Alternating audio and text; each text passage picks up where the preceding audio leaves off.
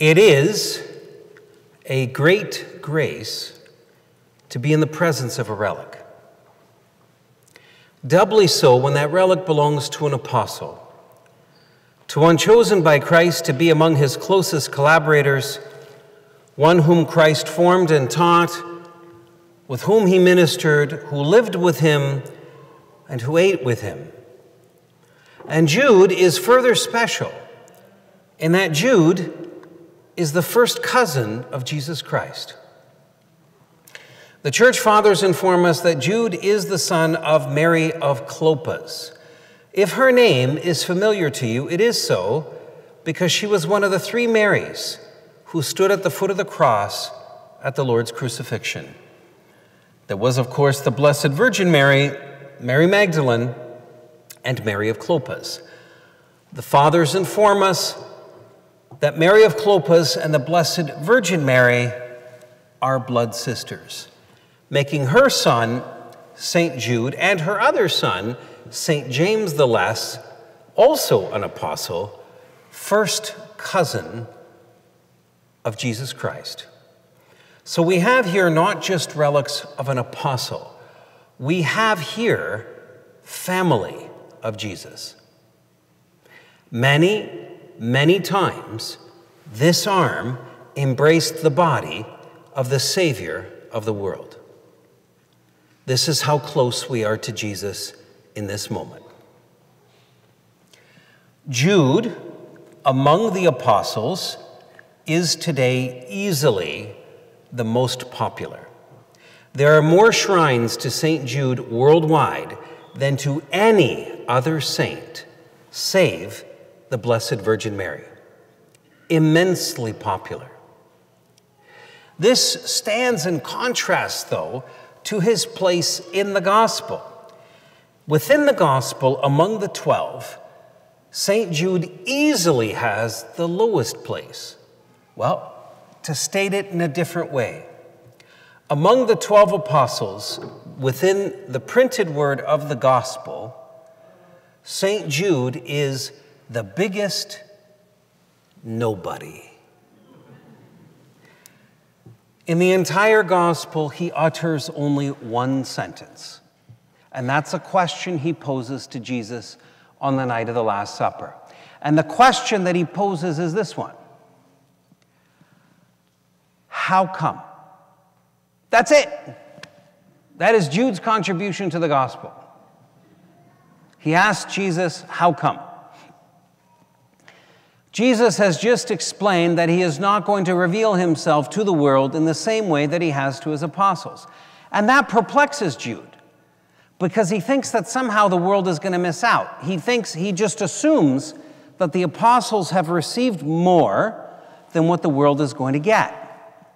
He couldn't have imagined what Jesus had up his sleeve, namely, rising from the dead. He couldn't have imagined that. Jude does write an epistle in the New Testament. One of the epistles, he authored it, and he authored it with this arm, his right arm. But at 25 verses long, one page, it is the shortest of the New Testament epistles. When he is named in the New Testament, great confusion surrounds his name. So, first of all, uh, there are two Judases among the apostles. Saint Judas. His name is Judas. We in English politely abbreviate his name to Jude to distinguish him from Judas Iscariot, the betrayer. But his name is Judas. But some editions of the Bible in English leave his name as Judas, others change his name to Jude. So for some folks, they believe that there are two different people being spoken of. The name Judas itself was a very common name during New Testament times. It would be equivalent to Bob or Steve within our culture. So, to distinguish him from the other Judases, from the many other Judases out there, some New Testament authors call him by his nickname, Thaddeus or Thaddeus, depending upon how you choose to pronounce it in English. But Thaddeus is itself a generic male nickname. Any male during New Testament times could have the nickname Thaddeus. The English equivalent is Bubba. we have relics here of St. Bubba this evening. As the New Testament rolled on, he began to be called Jude of James. Jude of James.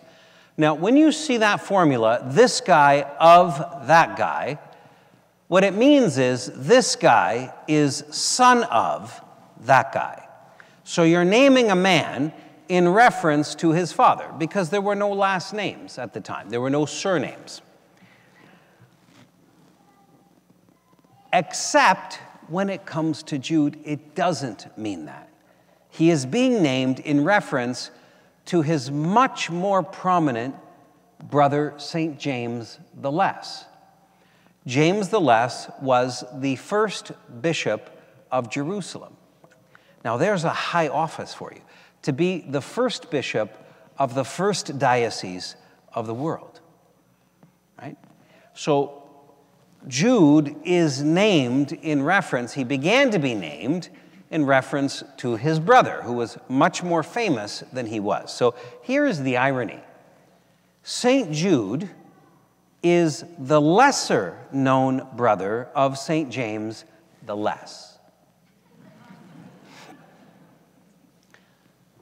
Some details have survived of his missionary journeys. We know, for example, that the first place where Jude preached the gospel following Pentecost. So at Pentecost, the apostles received the Holy Spirit, and immediately they were sent out across the face of the earth. Jude went to Armenia, the kingdom of Armenia, and how that came about is fascinating. The king of Armenia had heard about Jesus of Nazareth, this Jew who went around from village to village, town to town, healing people. And evidently, his healing ministry was the real thing because news of its effectiveness had reached King Abgar all the way in Armenia. Armenia is nowhere near Israel, it is across the Asian peninsula. So Abgar wrote Jesus Christ a letter, and he sent an envoy to hand deliver it. And his letter stated this I hear that you are a healer. I am dying of a terrible illness. Please, if you are able, come and deliver me from it. And Jesus actually wrote him a reply. Now, this is a big deal because this is the only time in history we have record of Jesus Christ leaving behind a piece of writing. Our Lord, in his response, stated this I must fulfill the work of the one who sent me, but after I return to him, I will send someone to do what you ask of me in my name. Jude is the one whom he sent. And as a pledge that he would fulfill what he promises King Abgar in this letter, our Lord took a cloth and pressed his face into the cloth, and the image of his holy face miraculously remained behind on it. Now, this is not the veil of Veronica, this is not the Shroud of Turin, the veil of Oviedo, or the veil of Manoppello. Those are all images produced at the time of our Lord's Passion. The image of Edessa, as this image has come to be called, Edessa being the capital city of Armenia, the image of Edessa was the first of the miraculous images the Lord produced of his holy face. And it was held in immense reverence in the ancient world. Right? In fact, even today, the Eastern churches, so the Eastern Catholic and the Eastern Orthodox churches, have a special Mass, a special liturgy, just for that image, which they call the Holy Mandylion, the holy image not made by hands. The Lord sent his reply back with that image, and the two letters exchanged between our Lord and Abgar, along with the image of Edessa, were kept, were kept at the archives of Edessa for centuries, and they were witnessed to by a great many of the church fathers, including the famous Saint Eusebius of Caesarea, the greatest of the ancient Christian historians. Most of our knowledge of the ancient church, of the primitive Christian church, we obtain from Eusebius. And no one in the ancient world doubted the authenticity of the image or of the two letters. Unfortunately, none of the three exist any longer. They were, they were destroyed by the revolutionaries at France during the French Revolution. We possess the contents of the letters, but we no longer possess the actual letters nor the image.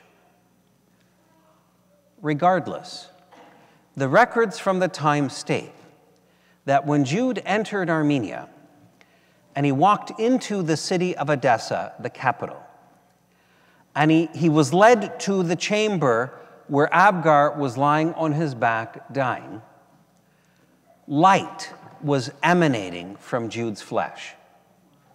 And he walked up to the king and placed his arm on him, placed this arm on him, and Abgar was healed instantly and immediately converted to the Christian faith, as, as you would do when a man whose flesh is glowing with light places his arm upon you and removes from you your lethal illness.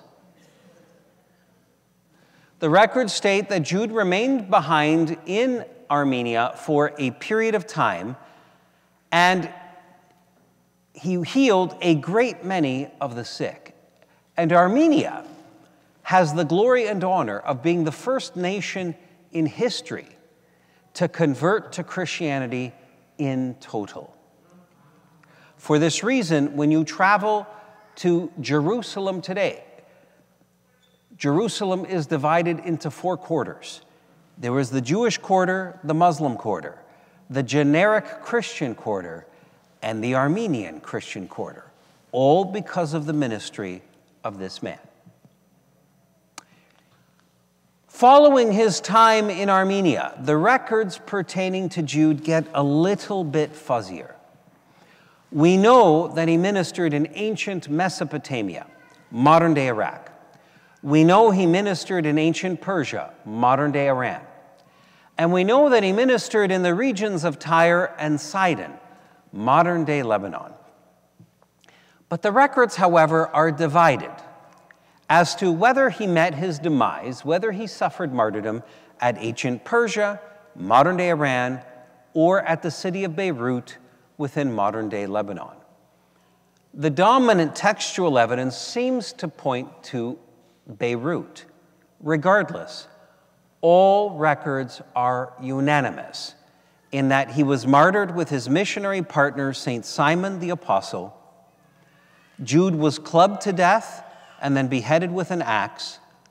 Simon was cut in half with a saw. Uh, it is for this reason that when you see a depiction, a pictorial depiction of Jude, he is usually depicted holding a club. And in this portrait that is here in front of you, he has it beneath his arm, which is where he is supporting the text or the paper of his epistle uh, in reference to the New Testament letter that he wrote. Uh, always, Jude also is depicted with an image of our Lord on his chest. That is a reference to the image of Edessa, the miraculous image produced by our Lord, for which St. Jude is forever intertwined. St. Jude and St. Simon were buried near the place of their martyrdom, and this reflects a belief of the ancient world. The ancients believed that if your life was taken from you, if you were killed, you needed to be buried near the place where that event occurred. And so Simon and Jude were buried near the place where they met their demise, and then two things happened which form the reasons why we possess these relics here today and how we know for certain they belonged to Jude the Apostle. The first is that Christians did what Christians do they built a church over top of their graves. The church itself established three things. First, it marked where the bodies were, right? It's hard to lose track of the bodies when there's a large stone church over top of them. Secondly, it provided a place for Sunday worship. Mass, from the beginning of the Christian church, was always celebrated over the tombs of the saints. It is for this reason why, at the start of this liturgy, at the start of this Mass, and later on at the end, this altar gets a kiss from the clerics. What we are doing is kissing the relics of the saints that have been embedded inside the altar. Every altar is a tomb. The third thing that the church established was the preservation of the bones by keeping them dry and free from exposure to the elements. Bones can keep an indefinite amount of time as long as they are kept dry. The second thing that occurred is God took advantage of pagan Roman superstition. The ancient Romans were an immensely superstitious people. They were deathly afraid of ghosts. For this reason, within their laws, there were numerous prohibitions as to what you could do to a grave. It was absolutely forbidden to ever desecrate a grave, no matter to whom it belonged even if it belonged to an enemy of Rome, a traitor, or, or, or someone who attacked Rome, the general of an army, uh, of an attacking army. Why? Well, the Romans believed that if you messed with someone's grave, you might stir up a ghost. And if you've got a ghost on your hands, who are you going to call?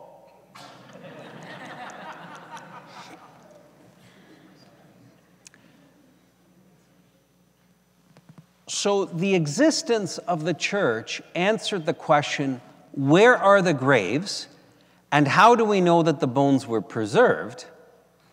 The existence of pagan Roman superstition ensured that the bones were never messed with, that they remained intact and in place until the year 335, when the Emperor Constantine as he was building the Basilica to St. Peter on top of the Vatican Hill, he brought the skeletons of St. Jude and St. Simon to that basilica, and he placed them within the left wing, the left transept of that basilica beneath the altar of St. Joseph. So the Basilica of St. Peter in the Vatican is built in the shape of a giant cross. In the left wing of that cross, at the very end, is an is the high altar dedicated to St. Joseph. The skeletons of St. Simon and St. Jude were placed beneath that altar, where they remain to this day. Some 500 years ago, St. Jude's right arm was removed, and all of the above form the details as to why we possess this arm for veneration today and how we possess the certainty, aside from all the miraculous happenings that this arm has occasioned, how we possess the certainty that this arm is in fact that of St. Jude the Apostle. Following Jude's death, God performed an incredible irony with him, right? So, as I mentioned, Jude was the biggest nobody among the 12. Right? The least important apostle, if you will, at least in terms of speech and prominence. Today, he is easily the most popular among the 12. So something happened to bring point B about, point B being so different than point A. And that's what I'm going to share with you now. Upon Jude's death, he entered into the fullness of his vocation. God had a plan for Jude, and that plan was to take place and inaugurate itself only upon his death. That plan is so remarkable that the greatest events of Christian history have St. Jude's fingerprints all over them. And I'm going to share with you just two of them. In the year 250, Valerian became emperor of Rome. Valerian was a butcher who hated Christians. He was more of a butcher than even the emperors Nero and Diocletian. And ten, tens of thousands of Christians lost their lives under the domain of those two, under the rule of those two emperors.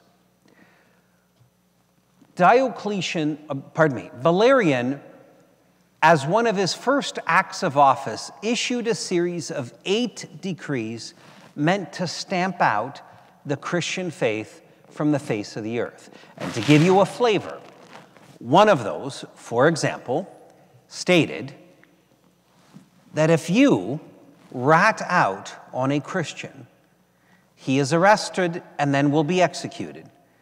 But his property and possessions will be confiscated, and you will be entitled to a cut of each of them. So there was a financial incentive for you to rat out on a Christian. Valerian issued these series of decrees and then promptly went off to make war against the Sufi of Persia, the king of Persia. The king of Persia always carried the title of Sufi. And of all of the places on this planet where those two gigantic armies met in war, the Roman and the Persian army, they met in war at the city of Edessa within Armenia, the city made Christian and made holy by this man. The unimaginable happened. To that point in time, ancient Rome had existed for over 1,200 years. Militarily, it had never experienced defeat. The Roman military machine was the most feared army in the world. It was unconquerable, so everyone thought. Until that day at the Battle of Edessa, when not only did the Roman army lose, the entire army was captured, including the Emperor Valerian. Valerian was taken off to Persia to be the personal slave of the Sufi. The records from the time state that among the other humiliations he had to endure, he had to get down on his hands and knees and serve as a stool for the Sufi to step on his back while mounting his horse. He died seven years later in captivity, never returning to his homeland again. Upon the capture of his father, Valerian's son immediately became emperor. And he recognized it is because of what my father did against the Christians that Rome has suffered this catastrophic embarrassment. In other words, it was his belief that the Christian God was exacting revenge over what his father had decreed against the Christians. So his first act of office was to rescind the anti Christian decrees promulgated by his father. And this began what historians today call the little peace of the church. A 40 year period, the longest in the ancient world, where Christians could live peacefully and undisturbed.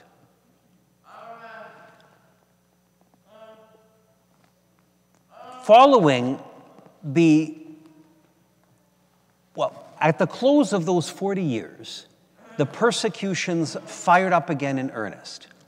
And then, some 23 years later, a young general named Constantine was getting ready to face a rival general at the Battle of Milvian Bridge within the city of Rome. Each man was vying to be the next Roman emperor. Milvian Bridge is an ancient stone bridge that still exists to this day.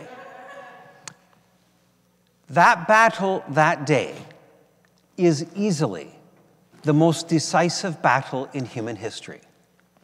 Because if Constantine had not won that battle, you and I today would not be Christians.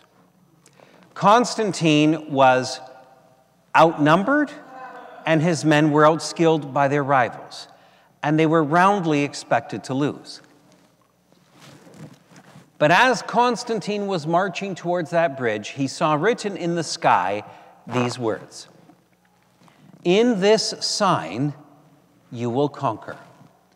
And then there was an image of a Chi-Rho, a P with an X through the stem, an ancient Christian symbol representing the first two letters of the Greek word for Christ. Constantine had each of his men Chi-Rho on his shield. And they won that day against all odds. And Constantine recognized that it was not because of his skill as a general nor the power of his men by which they won. They won, so he believed, because the Christian God fought on our behalf. And so pagan Constantine immediately converted to the Christian faith. And he made it a capital crime punishable by execution if you were to persecute a Christian. And while he didn't force anyone to convert to the Christian faith, if you wanted a position in his government, or if you wanted a promotion within the same, those were reserved only for Christians. And so, protected by the strength of the Roman Empire, and now the empire's faith, Christianity was free to disseminate itself across the entire civilized world. And that is the reason why, friends, you and I are Christians. All because of what happened at the Battle of Milvian Bridge within Rome, which occurred on October 28th, feast day of St. Jude the Apostle. As the liturgy, as the Mass to St. Jude was coming to a close and the final hymn was being sung that day, Constantine was being proclaimed the victor. Following the Christianization of Europe, something really strange occurred, something diabolical. It had to be diabolical. It was a kind of cancerous thinking that enveloped the entire Christian world, such that from the year 500 and for the next 1200 years until 1700, all devotion to St. Jude the Apostle ceased. A cancerous thinking emerged that went as follows. Now, get ready to giggle, but this is exactly what occurred. People thought if I pray to Saint Judas, my prayers may inadvertently go to Judas Iscariot, the betrayer, and so they won't be heard. It's silly, but this is exactly what happened. It was diabolical. And it enveloped the entire Christian world. So for 1,200 years, no one prayed to St. Jude the Apostle. Now, I happen to think that this was a demonic revenge for what St. Jude did at the Battle of Edessa, where he usurped the 1,200 year old unbroken record of the Roman pagan army. It was a revenge. But it came to an end in the year 1700 when something remarkable happened, which had to be the work of God. It had to be. Because it occurred simultaneously, worldwide, all at once. Numerous people needing a miracle for a situation that was desperate.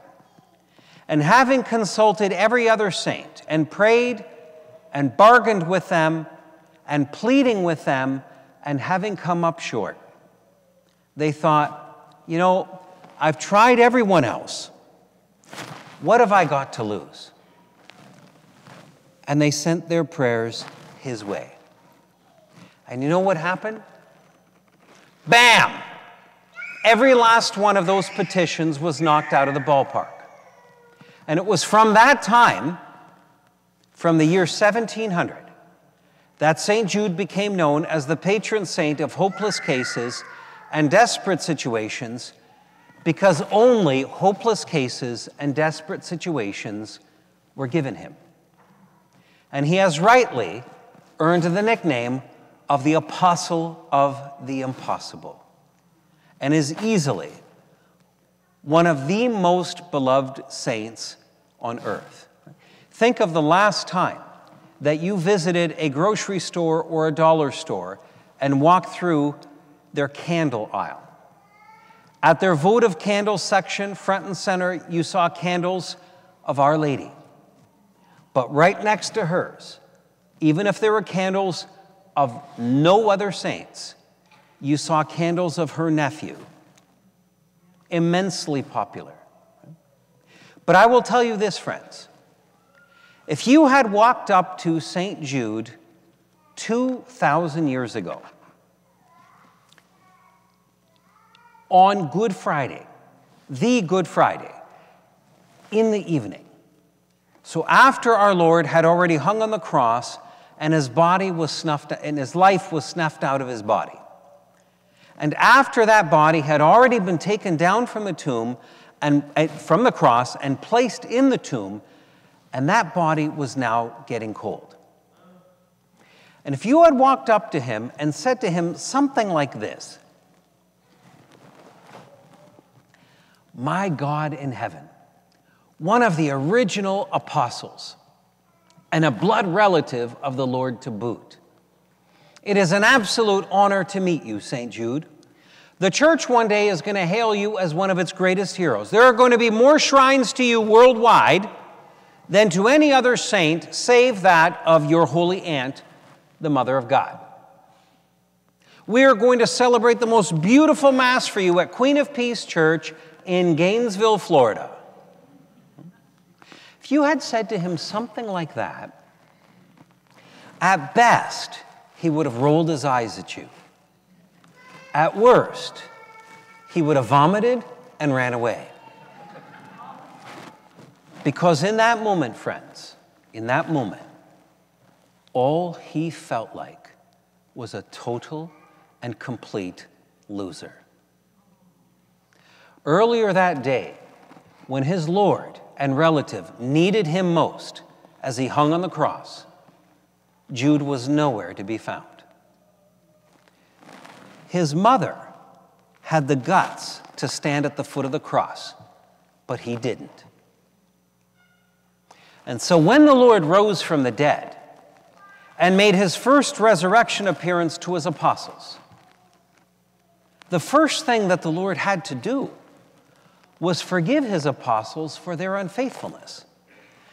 Yes, John stood at the foot of the cross at the crucifixion, but even John had ran away at the time of the Lord's arrest.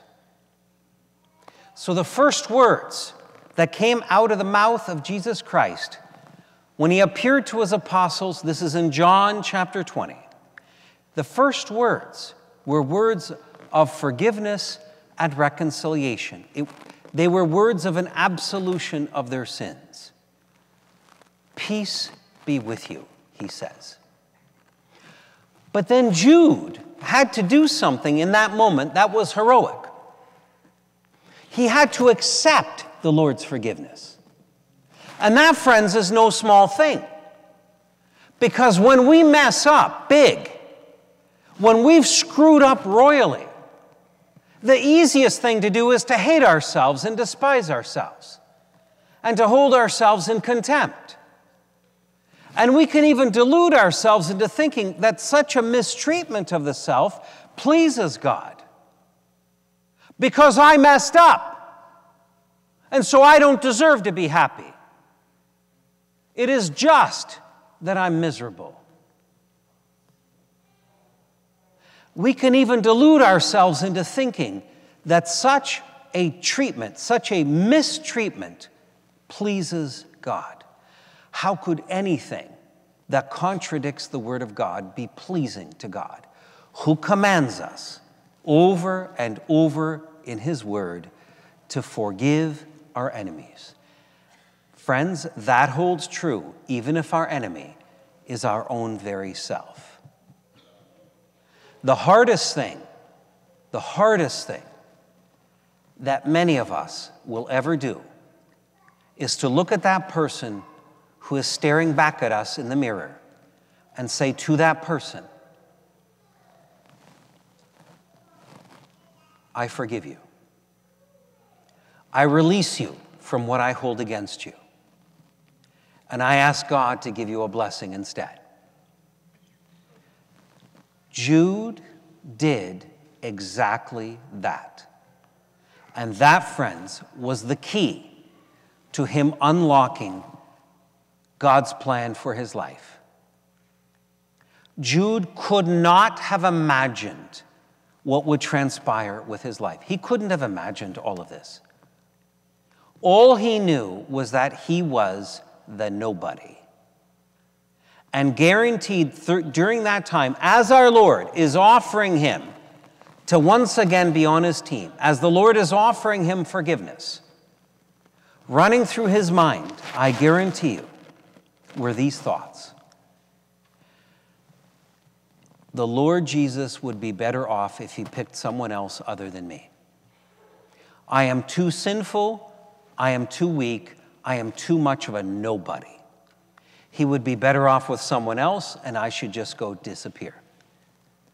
Guarantee you, that was what ran through his mind, along with the shame and the embarrassment of having abandoned the Lord. But he chose to accept the forgiveness extended to him by Jesus Christ. And just look at what it did to him. It is useful to compare his response with that of Judas Iscariot, the betrayer. Judas repented of his sin. We know this. He took the 30 crummy pieces of silver he was paid to betray the Lord back to the temple authorities, and when they refused to accept it because it was blood money, he threw it away. He wanted nothing to do with it. We also know that Christ himself forgave him for his sin. At the moment that Jude planted the kiss on the Lord's cheek, the kiss, of course, was the sign of the betrayal. Judas had pre-arranged with the arresting authorities the guy that I kiss, that's the one you want, arrest him. At the moment that Judas Iscariot planted that God forsaken kiss on the cheek of the world's Savior, the Lord turned to him and said, Friend, do you betray me with a kiss? The Lord called him friend. The Lord was not being sarcastic when he said that. The word the Lord does not have a sarcastic bone in his body. Do you know what sarcasm means? It is a, a word made up of two Greek words that mean to tear flesh. The Lord tears no one's flesh. He is the one who allows his flesh to be torn. When the Lord calls Judas friend, he means exactly that. At the moment that Judas commits the sin, at the moment that he plants the kiss on the cheek and commits the act of betrayal, the Lord forgives him. So if Judas was repentant for his sin and the Lord forgave him for it, why do we not honor Judas Iscariot as a saint, but we do Saint Jude and that of the other 10 apostles? Because Judas Iscariot refused to forgive himself. He refused to accept the love of Christ and then apply it to himself. And there is no glory and honor for that, friends. We cannot refuse God what he wants and then hope to be happy. That's impossible. Judas Iscariot could have been the greatest of the 12 apostles. He would have been the, the apostle that we honor the most. Because if our Lord had not died, he couldn't have risen from the dead if he had not risen from the dead, then the gates of heaven would still be closed to us. And every one of us, you and me, upon our death, we would suffer the same fate that every other soul did until the Lord rose from the dead. We would descend into hell. All souls went to hell upon the close of their life until Christ rose. Now, hell contained two kinds of souls that of the damned, for which there was no return from hell, but also those of the righteous, who were awaiting the Messiah to set them free. And that's what Christ did when he died. And that's why we recite in the Creed, He descended into hell. And He did so to free those of the righteous. We have the action of Judas Iscariot to thank for that. He could have been the greatest of the 12, but he blew it. This Jude, however, accepted the Lord's forgiveness, and that for him made all the difference in the world. And so, friends, at the end of this Mass, when you come up to venerate these relics, you need to know one thing. It is not just St. Jude's bones that are here in front of you. All of St. Jude is here to greet you personally. Because the soul of the saint, which is even now in heaven, beholding God face to face, living in his glory, living in perfect communion with him, that same soul is just as present in his or her relics. All of St. Jude the Apostle is here to greet you. And as an apostle, as an emissary, because that's what an apostle is an emissary or agent, he has come a long way for the chance to meet you personally. And so when you approach his relics, you need to say two things to him Jude, I accept you as my friend. I accept your friendship today. Say those words. You don't have to say them out loud, but when you're in front of him, say to him those words I accept you as my friend. And then say to him, I accept the gift you have for me today, because he's got a gift for every single person. I have no idea what your gift is going to be. It is different for every person, but you're just going to have to trust me on this one. He has got something for you. Jude, I accept the gift you have for me. I accept your friendship. I accept your gift.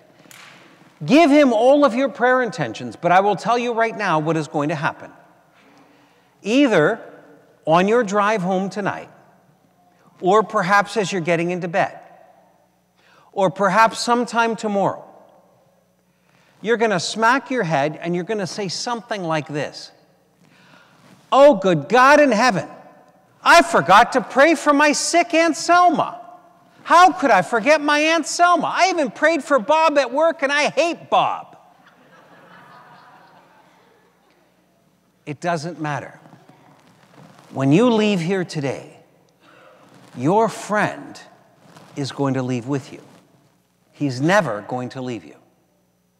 And so when that intention, or whatever intention comes to mind, you turn to your friend and you say, Jude, I need you to do something for my Aunt Selma, or for this person, or for that family, or for this situation. And your friend, who is so close to God, he is called the apostle of the impossible. Your friend is going to get to work bringing your petition to Almighty God. You are welcome. In fact, you are encouraged to touch the glass of this display case. Why?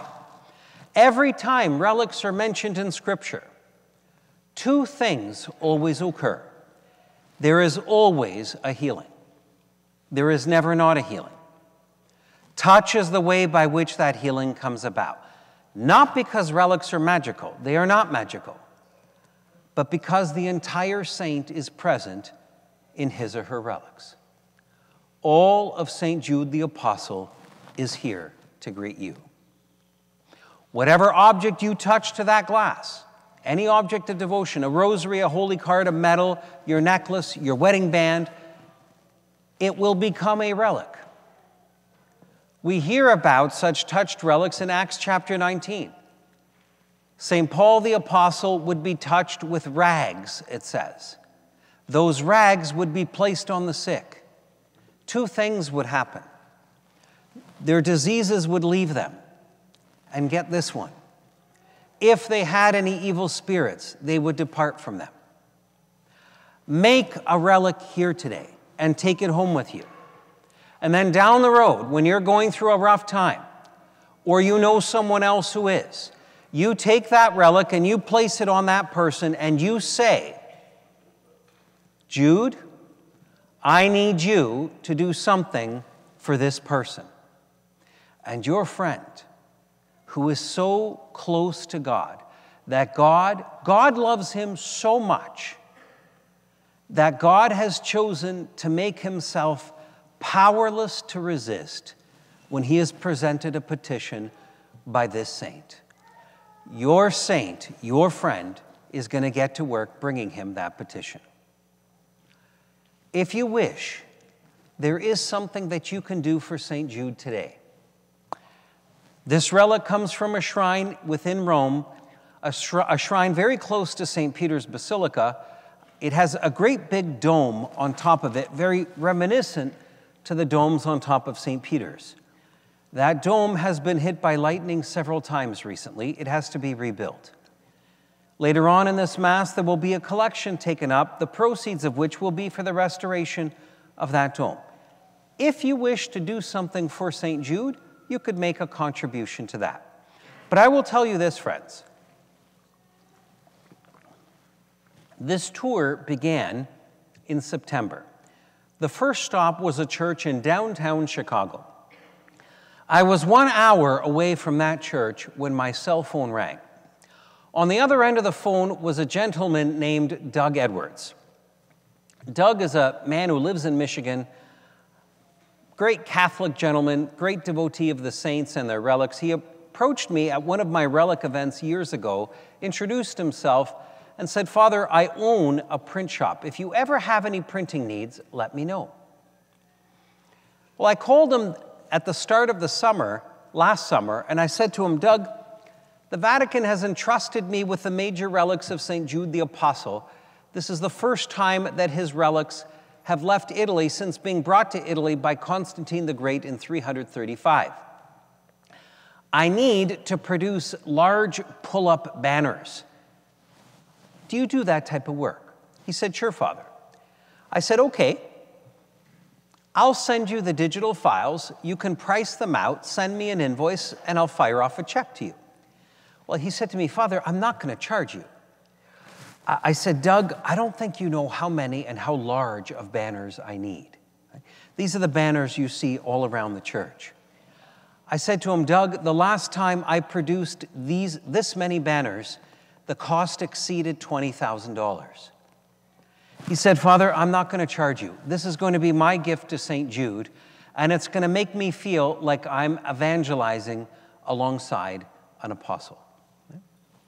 What do you say to that? When he had those banners printed, I called him up. I said, Doug, I'm coming to your print shop. I'm bringing the apostle with me. So call whoever you like over to your shop, and they can have some up close and personal time with the saint. Now, Doug's wife, Noreen, I had never met. She had in 2001 a debilitating brain condition. Up to that point in time, she was an a very accomplished woman. She was the CEO of a corporation. In 2001, she had a brain condition that necessitated surgery. And the surgery left her in a vegetative state. 10 days later, she was still in a coma. Sur- the surgeons went in and did a second surgery to try to bring her out of that coma, which it thankfully worked, but it left her without the ability to walk and talk. After a very prolonged and grueling regimen of physiotherapy, she was able to relearn to, to talk, and she was able to regain somewhat of ability to walk some brief paces. Right? She could walk a very short distance, but when she would do so, it would knock her out for the rest of the day. So she was an invalid. She was unable to take care of herself. When I arrived at Doug's print shop, I said to him, Doug, which one of these people here is your wife? I want to pray with her with St. Jude. And he said to her, he said to me, Well, Father, Noreen is not having a good day today, so she wasn't able to be here.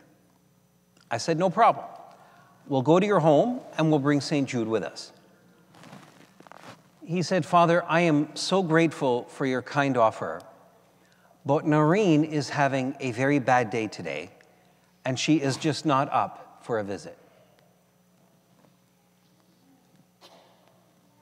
So I went to Jude and I said to him, Jude, Doug has done a lot for you. He is your friend. I need you to do something for his wife, Noreen. The next day, Doug went home for lunch, and his lunch routine was always the same. He would go home, prepare lunch, feed his wife, feed himself, return to work. When he arrived at his house for lunch that day, the unimaginable had occurred. Noreen had prepared lunch and had it laid out on the table, which was impossible for her. All symptoms of her injuries and debilitation are gone. In that phone call, when I was one hour away from the first church to host these relics, in other words, the tour had not yet even started. Doug Edwards was screaming at me over and over my wife is darting about the house like a young girl. The apostle of the impossible knocked another one out of the ballpark. Friends, if you take nothing else with you today from this experience, if you take nothing else home with you, make sure you take home this guy as your friend. You will never, ever regret it.